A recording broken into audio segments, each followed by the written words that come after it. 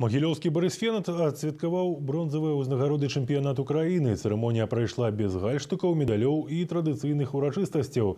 Баскетбалісты згулялі разам са сваімі балельшчыкамі. За матчам, якога не было ў календары, назіраў Андрэй Шуляк.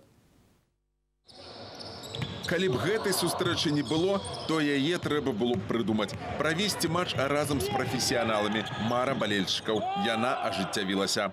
Присмотрели у кого-то уже из э, фанатов здесь в игре? Но нет, некоторые играют уже, умеют немножко играть. У меня уже пол двора уже, уже спрашивают, как вы сыграли, как, как играли. Уже интересуются люди, пенсионеры. Ой, Без усялякіх адміністратыўных рэсурсаў на хатняй гульні барысфена ў алімпійцы збіралася каля 200 балельшчыкаў. Пра іх падтрымку не раз казалі ў інтэрв'ю ігракі. Таму гэта яшчэ одна прычына правесці падобны матч. Мы э, немножко готовимся. Э, Тем более я по основной работе еще э, работаю с детьми. И, э, то есть этот оранжевый мяч для меня не в новинку. Сёлетні сезон барысфена скрозь у дасягненнях перамогі над заўсёды моцнымі гродна 93.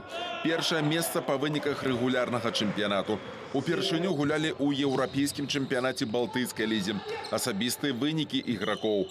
В Беларуси, да, лучший сезон, ну, чисто по статистическим показателям.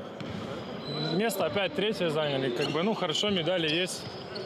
Это хорошо. Хотелось бы выше, конечно, второе место, первое место. Почему, почему нет?